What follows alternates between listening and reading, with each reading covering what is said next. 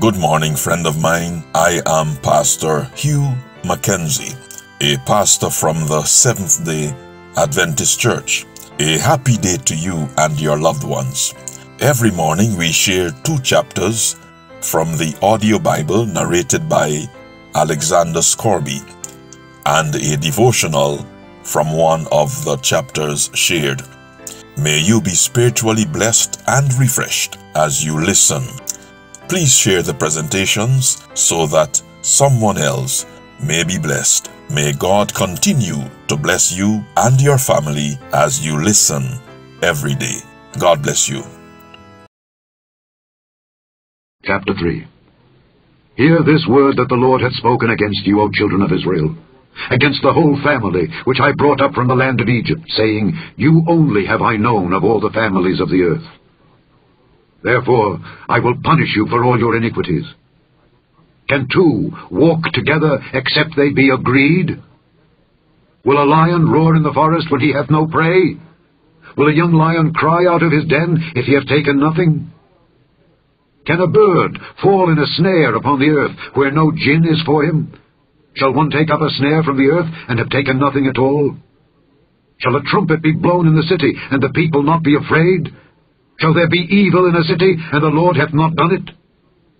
Surely the Lord God will do nothing, but he revealeth his secret unto his servants the prophets.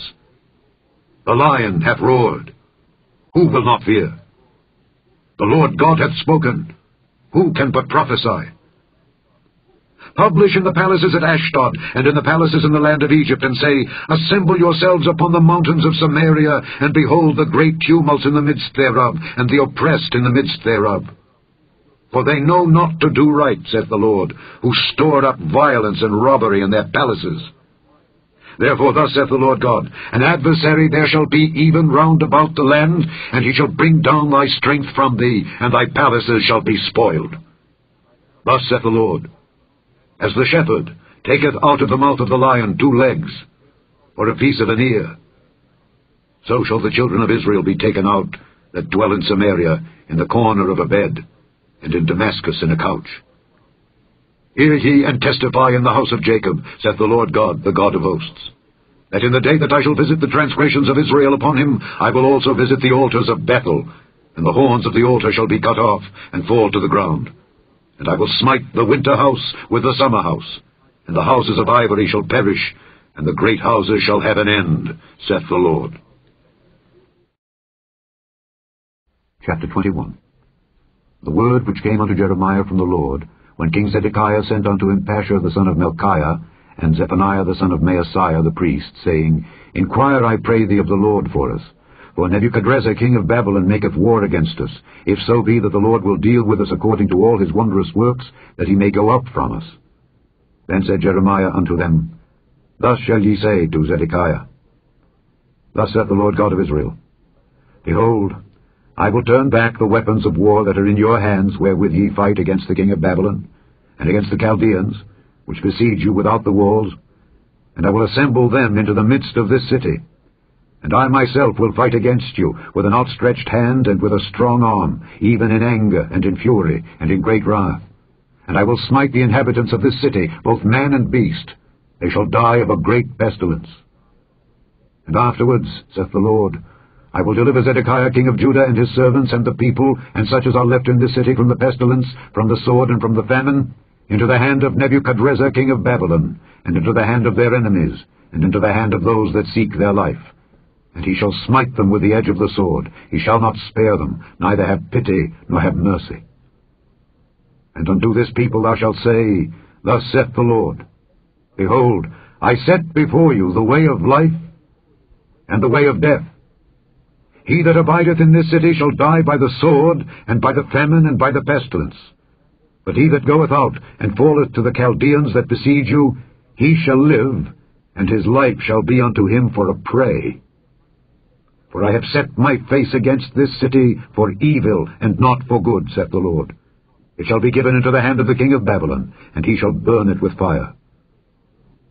And touching the house of the king of Judah, say, Hear ye the word of the Lord. O house of David, thus saith the Lord. Execute judgment in the morning, and deliver him that is spoiled out of the hand of the oppressor, lest my fury go out like fire, and burn, that none can quench it, because of the evil of your doings. Behold, I am against thee, O inhabitant of the valley, and rock of the plain, saith the Lord, which say, Who shall come down against us, or who shall enter into our habitations? But I will punish you according to the fruit of your doings, saith the Lord. And I will kindle a fire in the forest thereof, and it shall devour all things round about it. Good morning or good evening, wherever you are. We are hurrying to the end of another week. Tomorrow is the penultimate day of the week. Of course, the Sabbath Saturday ends the week, and we will certainly be praising God on Sabbath day for taking us safely through the week. But today we want to focus again on His Word. We are reading now Amos chapter 3 and Jeremiah chapter 21. Amos chapter 3 and Jeremiah chapter 21. However, we are focusing on a text in Amos chapter 1 as we introduce the book proper. Amos chapter 1 verse 11 states, Thus saith the Lord, For three transgressions of Edom, and for four, I will not turn away the punishment thereof, because he did pursue his brother with the sword, and did cast off all pity, and his anger did tear perpetually, and he kept his wrath forever. Again, thus saith the Lord, for three transgressions of Edom, and for four, I will not turn away the punishment thereof, because he did pursue his brother with the sword, and did cast off all pity, and his anger did tear perpetually, and he kept his wrath forever. Today's message is entitled Grace to Let Go. Grace to let go. Let us pray. Father, thank you so much for being our present help in trouble and for taking us through each day. We ask that you will stand beside us now as we listen to your word and apply these truths to our hearts for Christ's sake. Amen. Someone said that true forgiveness is hard to extend because it demands that people let go of something they value, not a piece of jewelry, but pride, perhaps a sense of justice or desire for revenge. Again, someone said that true forgiveness is hard to extend because it demands that people let go of something they value, not a piece of jewelry, but pride, perhaps a sense of justice or a desire for revenge. End of quote. Therefore, we need to pray that God will give us grace to let go of that which prevents us from having a forgiving spirit. Now, the prophet Amos rebuked the unforgiving spirit of Edom. Now, who was Amos? From the sketch of his life, which Amos gives in chapter 7, verses 14 and 15, we learn that Amos was a herdsman and a gatherer of the lightly esteemed sycamore figs. The impression is given that though he was poor, he was independent, which may account for his being able to leave his flock for a while. The chief purpose of the book of Amos was to call the attention of God's people to their sins. The chief purpose of Amos was to call the attention of God's people to their sins, and if possible, to bring them to repentance. As the spirit of Paul was stirred at Athens when he saw how fully the city was given to idolatry, so Amos must have been stirred by the luxury and the sins he so vividly describes in detail. Amos rebuked the sins that sprang from material prosperity the extravagance, the revelries, the debauchery of the rich, who were able to maintain their lifestyle by oppressing the poor and by perverting judgment through bribery and extortion. Sounds like modern problems also.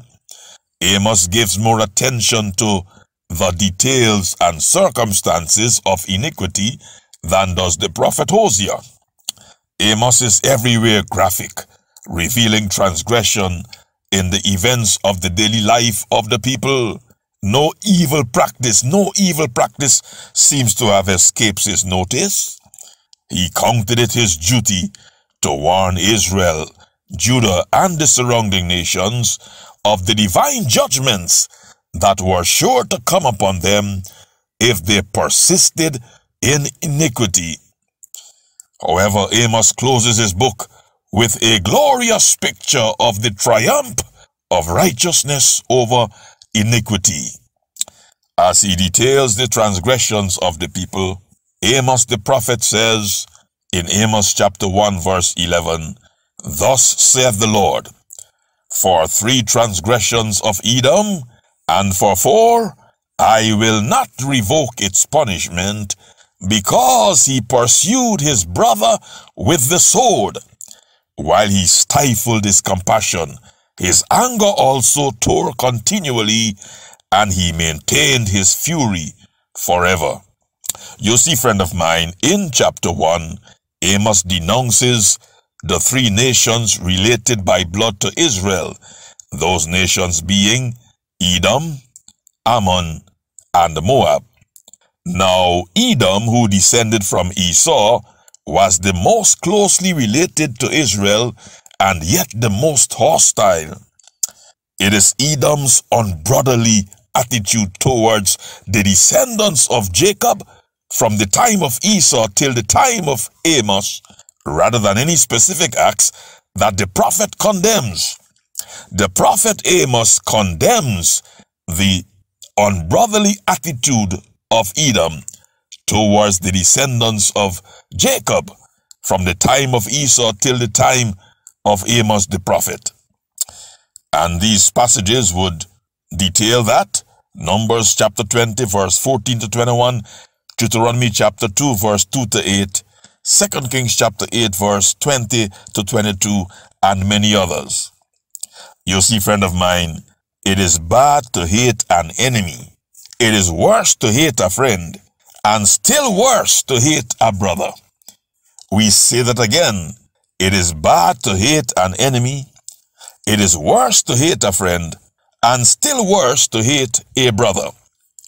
Amos stated of the descendants of Esau that their anger did tear perpetually and he kept his wrath forever. Oh, friend of mine, so many nations and tribal groups are warring and fighting continually because of old hurts and hatred. One generation passes on the supposed grievances to the next generation, and the anger and bad feelings between people is like a fire burning forever. Just because one politician says nation for nation, race for race, you don't have to be angry at your fellow brother and sister of a different race today when those politicians are long gone and dead. And so Amos condemned the Edomites because their hatred was perpetual and their anger burned forever. There are some ethnic groups who will not live peacefully with each other. Even as the Jews hated the Samaritans, they hate each other of different villages and ethnic composition.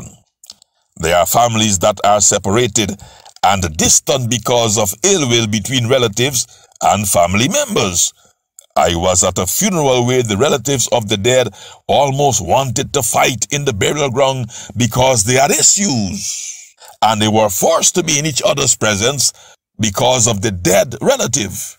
And they couldn't get along, even at a funeral. Old friend of mine, only Jesus can give us a loving heart. The soldiers heard Jesus, and yet he prayed from the cross in Luke 23, verse 34 Father, forgive them, for they know not what they do. However, we must be willing to be made willing to love, forgive, and put away old hatred, bad feelings, malice, and ill will towards others.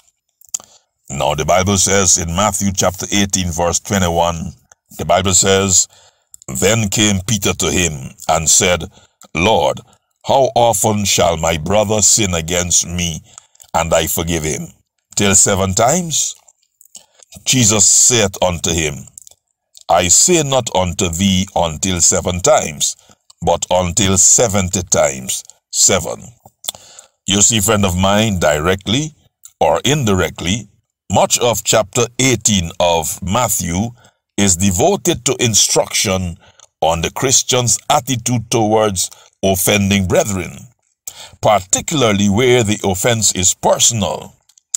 Peter tacitly accepts the idea of dealing patiently with his brother, but he would like to know how long he must do so before he is free to take a more stern attitude and to seek redress.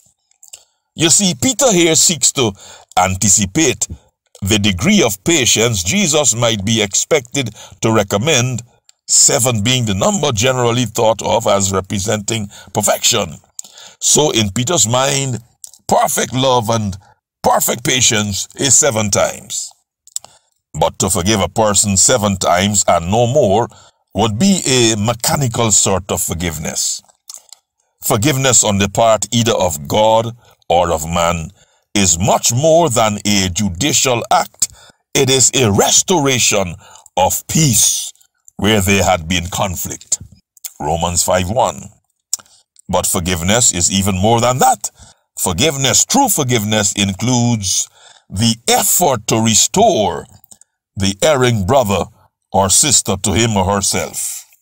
But forgiveness is even more than that. It includes the effort to restore the erring person.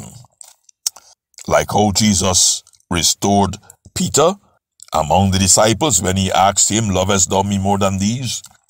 He reinstated Peter. You want everybody to know that, hey, Peter denied me, yes, but he still loved me. So, so don't put Peter aside. I love Peter still. The truth taught by Jesus' is response when Jesus told Peter, not seven times, but 70 times seven, the truth taught by Jesus' is response is that forgiveness is not a matter of mathematics or legal regulations, but an attitude. He who harbors within himself the idea that at some future time he will not forgive is far from extending true forgiveness, even though he may go through the form of forgiving. You see, friend of mine, if the spirit of forgiveness actuates the heart, a person will be ready to forgive. True forgiveness is not limited by numbers. Furthermore, it is not the act that counts, but the spirit or the attitude that prompts the act. Nothing, friend of mine, can justify an unforgiving spirit. And the remainder of Matthew chapter 18 consists of a parable given to illustrate the true spirit of forgiveness. Friend of mine, if the people of Edom had forgiven, they would not have retained their anger forever, and in their act of forgiving, they would have fitly represented the God they served. For the Bible says of God, in Micah chapter 7 verse 18, the Bible says, Who is like unto thee? Who is a God like unto thee, that pardoneth iniquity, and passeth by the transgression of the remnant of his heritage. He retaineth not his anger forever, because he delighteth in mercy. Unlike Edom, who kept his anger forever, the Bible says God does not retain his anger or his displeasure forever. If we come to him sincerely and ask his forgiveness, the Bible says in 1 John 1 9, that God is willing to forgive. The Bible says in 1 John 1 9 that if we confess our sins, God is faithful and the just to forgive us our sins and to cleanse us from all unrighteousness. May God therefore help us to ask for the power of the Holy Spirit to develop it in us a loving heart like that of Jesus so that we would be willing to forgive those who hurt us. May God help us to ask Him for strength daily so that we will be more loving and forgiving towards those who hurt us. Let us pray. Father, we thank you so much for your stubborn love, your love that never lets go. Thank you for forgiving us time and time again. And Father, we pray that through the power of your Holy Spirit, you will help us. Help us to be forgiving towards co-workers who hurt us, towards family members who hurt us, towards church members who hurt us, towards even strangers sometimes. Help us, dear Lord, to know when to be firm. Help us, dear Jesus, by the power of your Holy Spirit. Give us the wisdom, dear Lord, to know how to process forgiveness so that in the act of forgiving, we will truly represent you. Let us pray, Father. Thank you so much for your grace that is greater than our failures.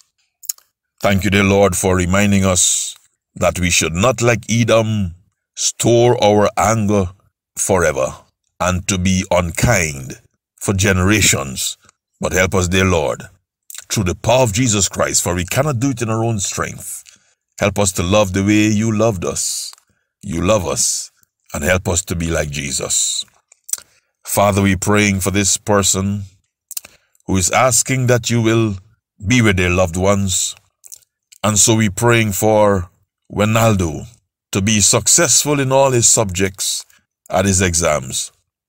Someone is asking, Lord, that we pray for Wenaldo, that, that he would receive a scholarship and sponsor for his career. And Father, someone is praying that no matter where he goes, that you will continue to hold him and that he would continue walking in your footsteps.